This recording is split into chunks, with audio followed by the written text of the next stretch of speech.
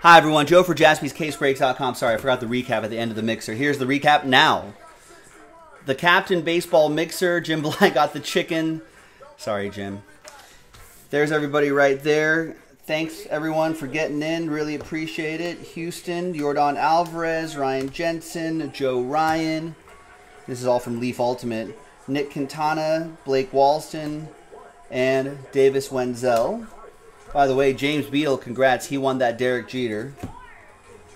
Here's the rest of the break here. Some pretty nice stuff overall, I thought. Some paper Dominguez's and Possins and Bobby Witt Jr.'s. We'll have all these top loaded, of course, before they go out. Don't worry. The Acuna Jr. was nice.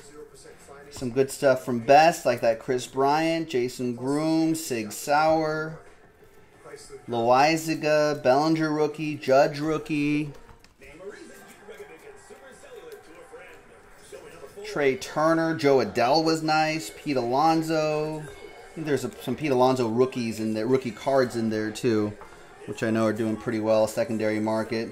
Kris Bryant rookie card, Schwarber, Troy Glaus. that's a blast from the past. R.I.P. Tyler Skaggs and Mitch Moreland. There you go.